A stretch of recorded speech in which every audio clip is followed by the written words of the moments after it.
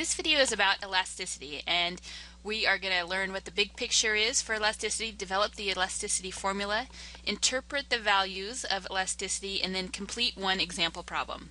In this particular section, we are going to look at the, the price elasticity of demand. And this is a measure of how sensitive the demand is to changes in price.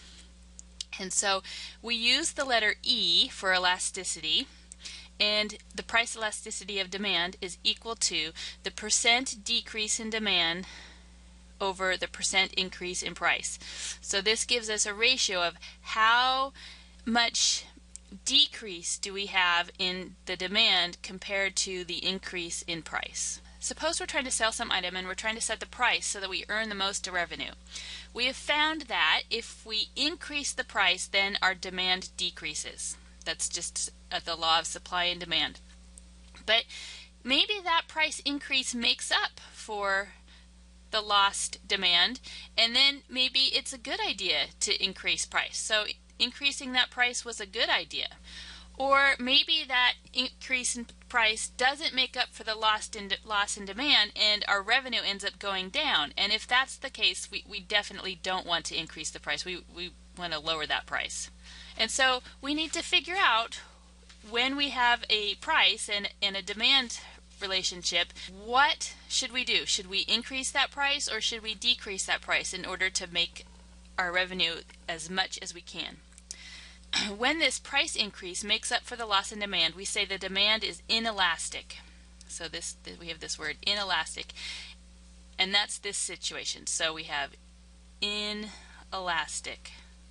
And when the price doesn't make up for a lot the loss in demand, the loss is too big, then we say the demand is elastic. Let's derive the elasticity formula. So our elasticity is the ratio of the percent decrease in demand to the percent increase in price. So let's first figure out how we could describe that percent decrease in demand. It's easiest to see how this works if we start with a concrete example with actual numbers. So suppose we have a demand of 50 units and then we have a decrease of one unit. Then the percent decrease in demand is going to be that decrease of one unit, the ratio of that to the 50 um, of the original demand. And that ends up being a, a decrease, percent decrease of negative 2%. So that's how that percent decrease in demand is calculated.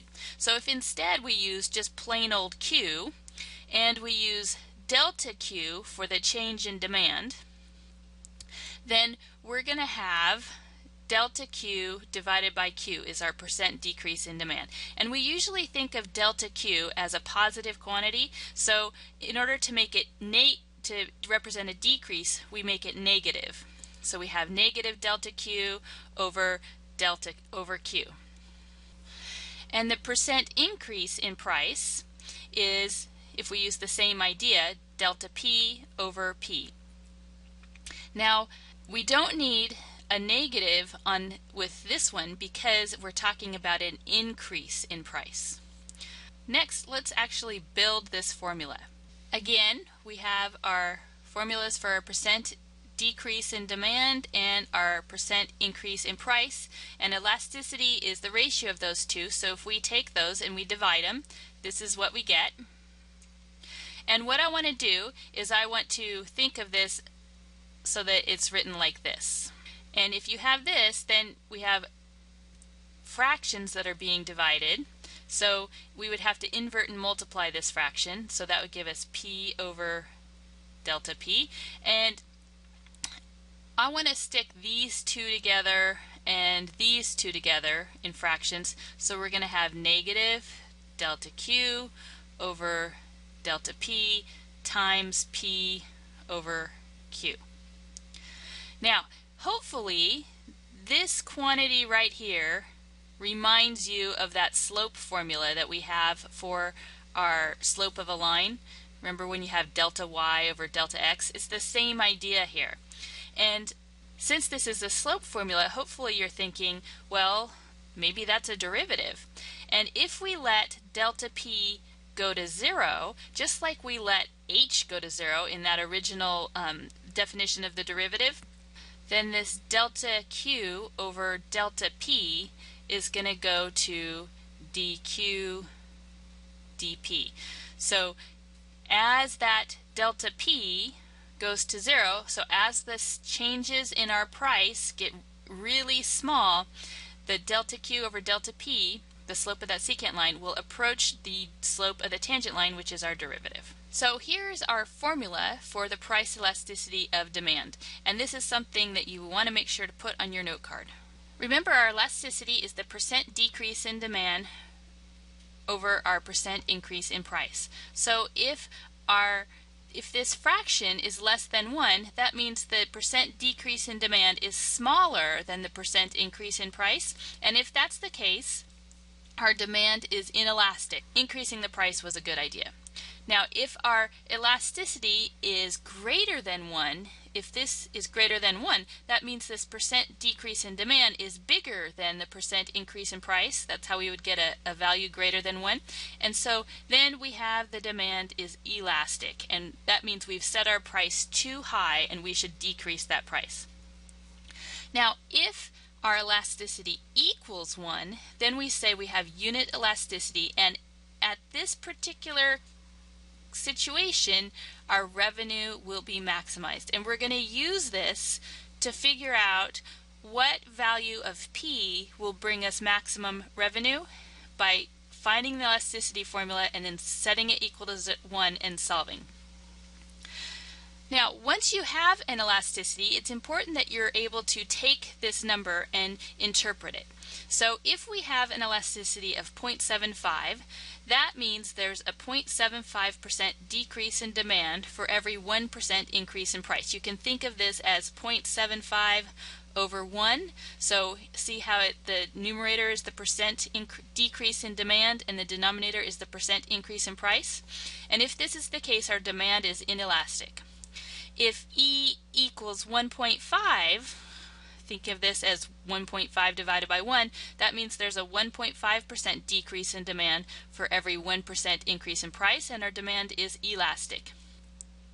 If E equals 6 over 7, we could think of this as a decimal, but we can just leave it as a fraction. We could say there's a 6% decrease in demand for every 7% increase in price, and if this is the case, this the 6 over 7 is less than 1, so our demand would be inelastic.